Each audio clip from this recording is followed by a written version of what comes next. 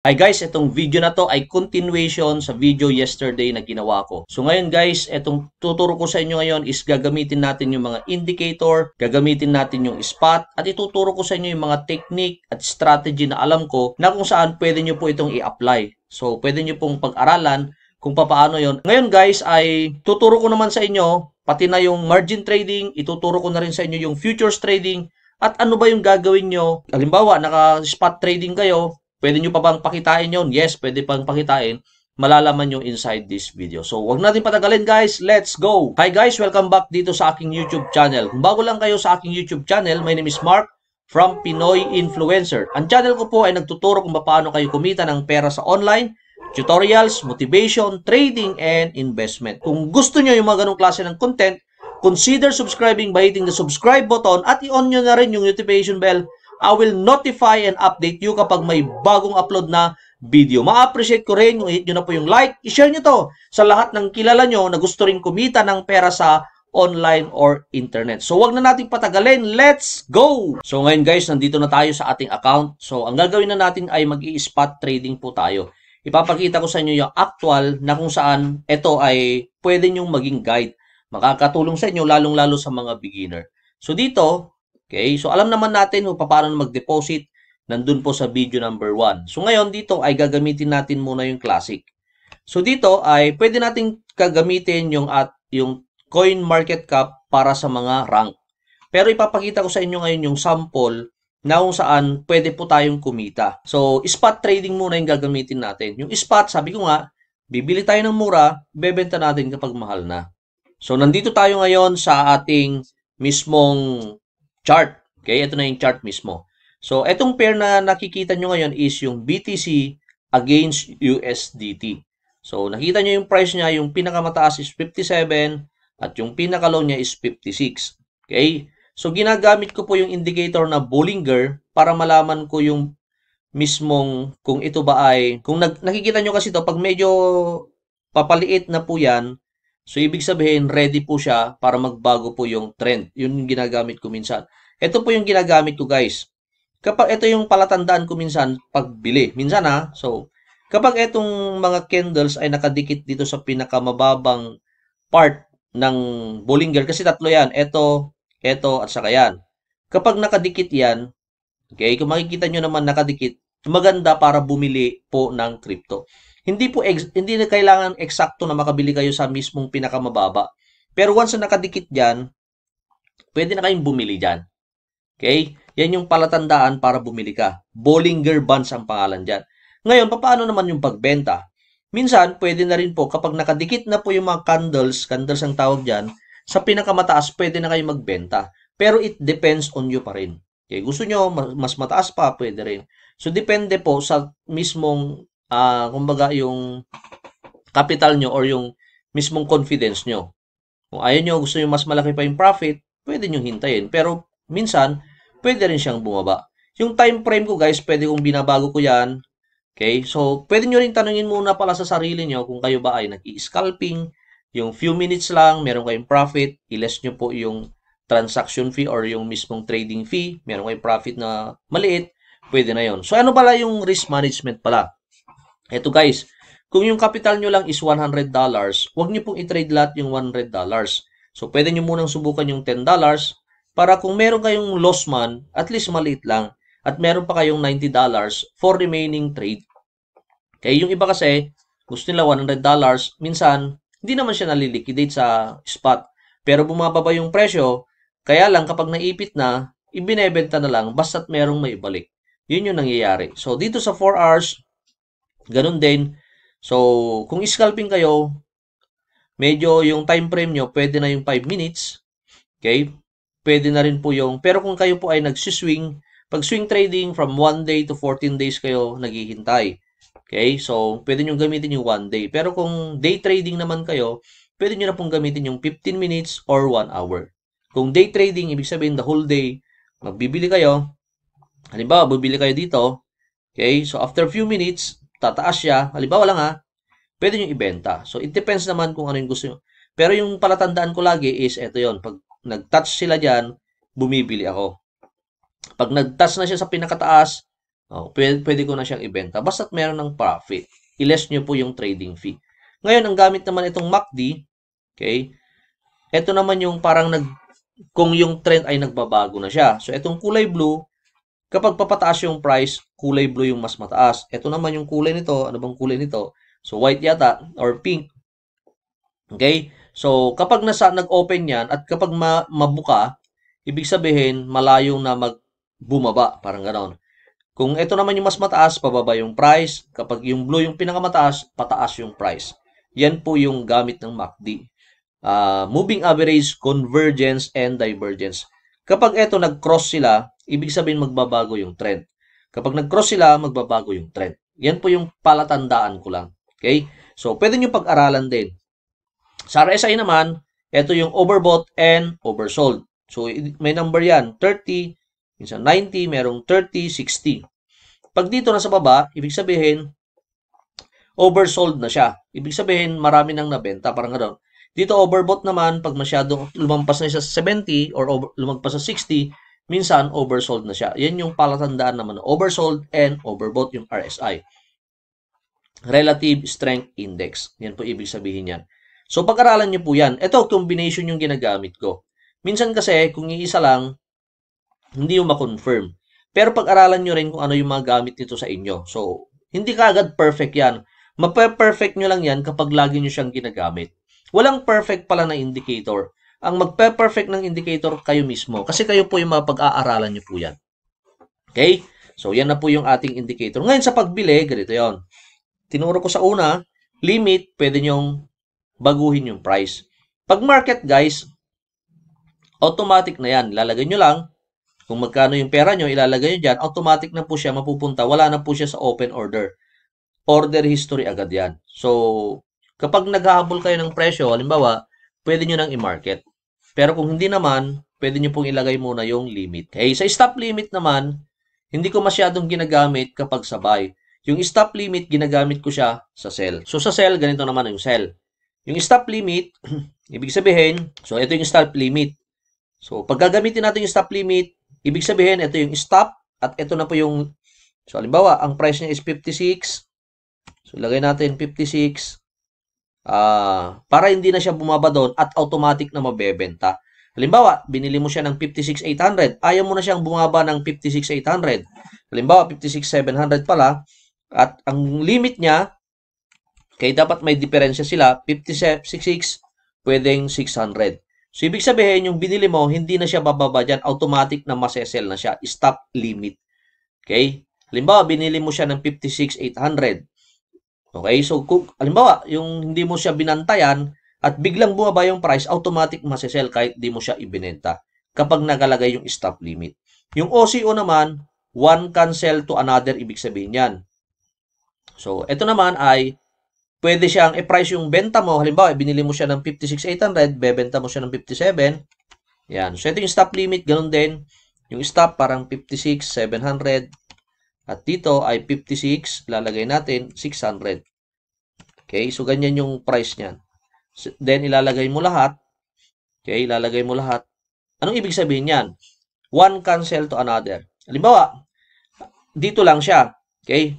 Pag tumaas siya dyan, nabenta siya. Pag bumaba siya dyan, mabebenta siya. Okay, so sana naintindihan nyo yung OCO.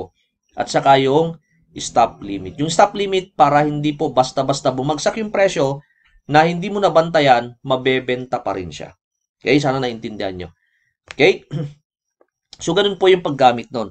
Ngayon, ang gagawin natin ay bibili tayo. So, halimbawa, bibili tayo ngayon ng, pwede yung gusto ko ay, so, halimbawa, Axie.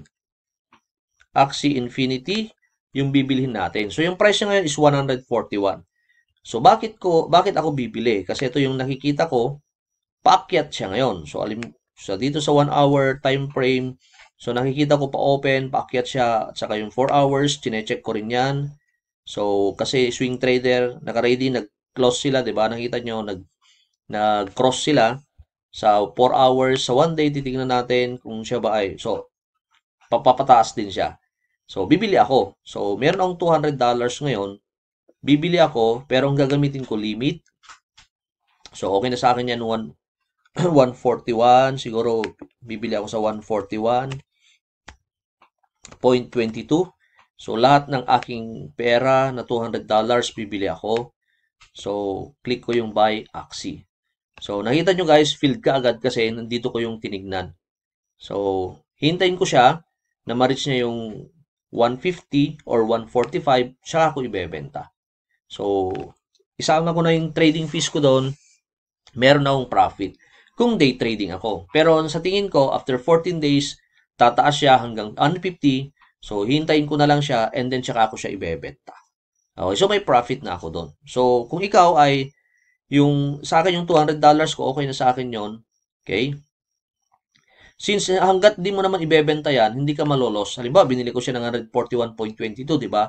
E bumaba siya ng 139, bebenta ko ba? Hindi ko muna siya bebenta. Hintayin ko muna siya na muling tumaas para ibenta ko siya, para may profit ako. Yung iba kasi, ang problema, pag bumaba, akala nila, pababa na hanggang zero na. Hindi ganon. O, hintayin mo lang siya, baka tataas din ulit. Ng few days or few months, pwede rin siyang tumaas. Tsaka mo siya, ito, parang to, bumaba, di ba? 141 natin binili. 140. Yung iba, kinakabahan na siya dyan. So, binibenta nila agad. Ako hindi. Tayan ko lang muna siya. Pag tumaas na siya, okay, saka ako siya ibebenta. Iles ko lang yung fee. Malalaman nyo naman yung fee nyo dyan, guys. Dito yung mga fee nyo. Halimbawa, transaction history nyo. So, makikita nyo yung fee nyo. Trading history, papakita natin. Makikita nyo yung fee dito. Compute nyo yung fee nyo. Tapos, iles nyo yung kita nyo. So, yun, dun nyo makikita yung profit. So, yung bili nyo, and then less nyo yung fee. Kung meron kayong profit na, pwede nyo nang i-take profit kung gusto nyo. So, depende sa inyo guys, decision nyo yan. Okay? So, ganun lang po dito sa spot trading. Ngayon, explain ko muna sa inyo pala yung mismong margin trading. Ang margin trading guys, okay, parang spot trading din, pero bibigyan po kayo ng o pauutangin kayo ni Binance. Halimbawa, meron kayong capital na $200, minsan, pinapautang po kayo, kung magkano yung nasa deposit nyo, papautangin po kayo ng 200. Okay? Ganun po yung dito sa by, uh, margin trading. Pareho lang sila. Ang kaibahan lang is pwede kayong pautangin pero may interest. Per day po yung interest. Okay, minsan may per hour ang interest po ng paggamit nyo po dito po sa margin. Kaya, kung ayaw nyo yung ganon, eh, huwag nyo nang gamitin yung margin. Pero, pwede nyo gamitin. Ganun lang yung ang difference po nila. Spot din siya. Ang kaibahan lang is, yung capital mo, dodoblehin ni Binance, pero iinteresan mo yon. Dito mo rin makikita yung pagbabayad. Okay? Makikita nyo rin, babayaran nyo rin dito yung trade nyo or yung mismong, makikita nyo kasi dyan dito.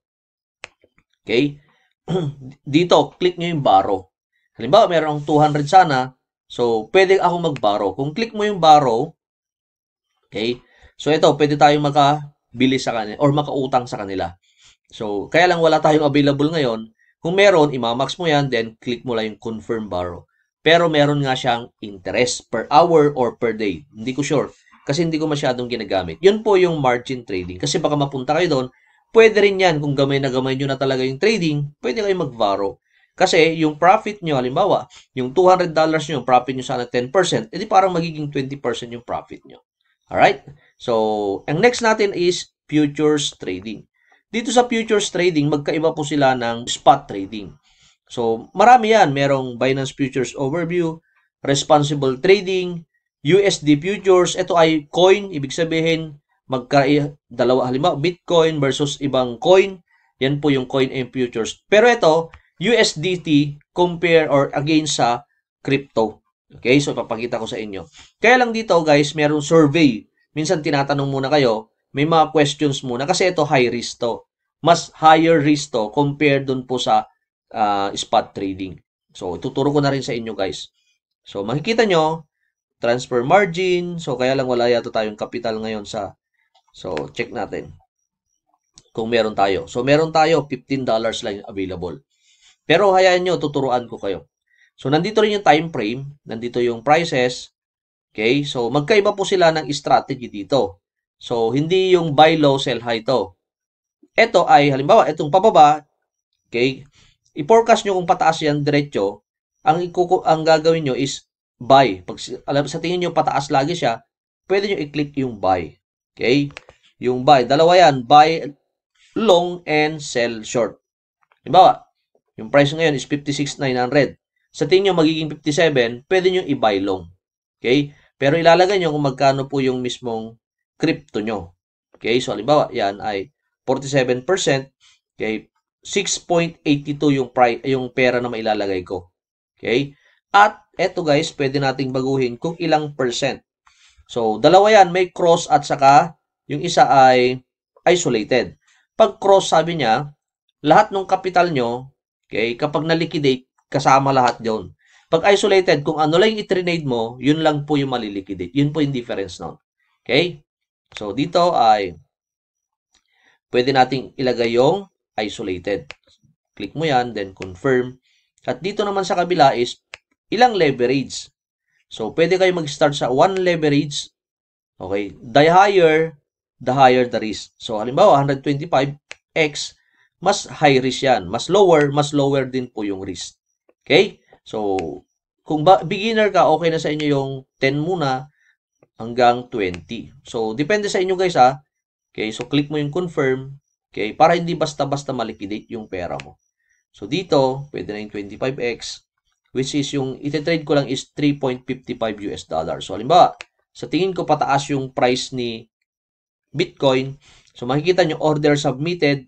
At dito, makikita nyo dyan guys, dito sa open orders yan. Kung wala, okay, ito na yan. So, wala pa siyang, kasi hindi pa siya na-fulfill. Kapag naka-position na yan, makikita nyo dito, at gumagalaw na po yan. Okay? So, gumagalaw na po yan. Ganun lang kadali dito, guys. Kapag sa tingin nyo naman pababa, yung price, halimbawa, ito pa-drop, pwede nyo pong i-sell short. Okay? So, pwede nyo rin baguhin yan. Pwede nyo rin baguhin yung isolated sa cross. Yun po yung difference po nila. Hindi nyo magagamay sa isang upuan yan. So, kailangan nyo pong ulit-ulitin. Okay? Para maintindihan nyo po yung trading po sa mismong future trading. So magkaiba po sila. Sa spot trading, buy low, sell high. Dito ay i-expect mo kung pataas ba siya or pababa siya. Okay? So kung sa tingin mo pataas, buy long. Pag sa tingin nyo, itong price na so is pababa, sell short.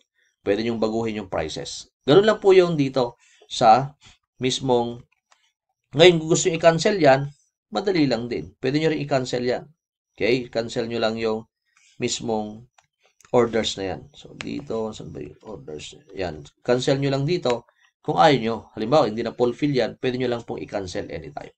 Okay? So, sana naintindihan nyo na ngayon yung pagtitrade dito.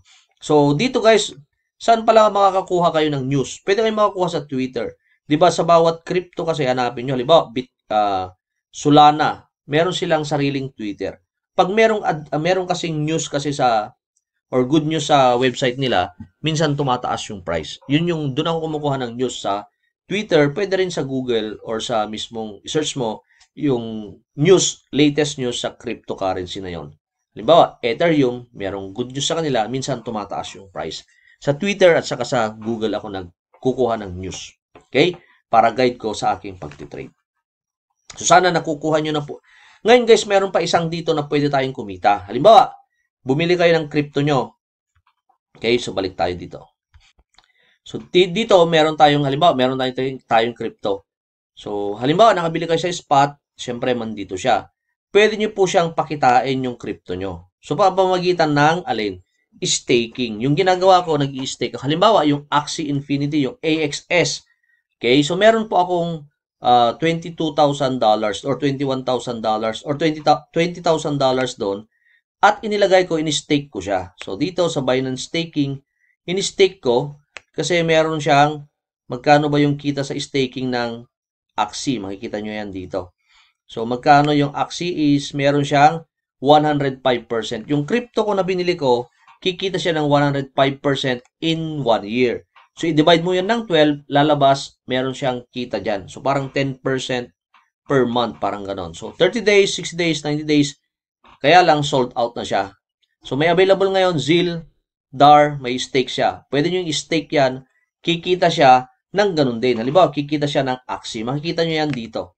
So papakita ko sa inyo. So ako guys, bumili ako, meron akong 105%. Dito makikita nyo as 28 days na yung aking mismong Axie. So meron na siyang kita. Okay, na 0.30. Ngayon, 11 na po na Axie na kinita na yung aking Axie mismo in just 28 days. So, ilang days na lang, pwede ko na i-redeem yung mismong ah, or makukuha ko na lahat yung mismong interest ng aking crypto sa staking. So, meron akong 11 na Axie kung magkano yung 140. So, almost 100,000 po yung kita ng ating Axie mismo na crypto. So, pwede nating i-stake yung binili natin sa mismong spot trading. Alright? So, sana nakuha nyo to. Balikan nyo lang, balik-balikan nyo lang para mapag-aralan nyo po yung mga pagtitrade po sa spot, sa margin, at saka sa futures trading. Ngayon guys, meron po tayong Telegram, ilalagay ko po dyan. Pwede kayong sumali para makasali po kayo sa mga, kung meron mga good news, at para makatulong din po sa pagtitrade nyo. So, sana naintindihan nyo yung buong pagtitrade dito po sa Binance. I suggest guys, aralin nyo muna bago po kayo mag-trade ng pera nyo para hindi naman po masayang. Kundi, kikita po kayo at pwede nyo pong gamitin sa earnings nyo. Okay, so ito lang yung aking may share in this video. Sana nagustuhan nyo at sana natuto kayo kung paano mag-trade po sa Binance. If you have more questions, feel free na mag-comment kayo dyan sa comment box. So once again, this is Mark from Pinoy Influencer. Thanks for watching and see you on my next video. Thanks and bye-bye.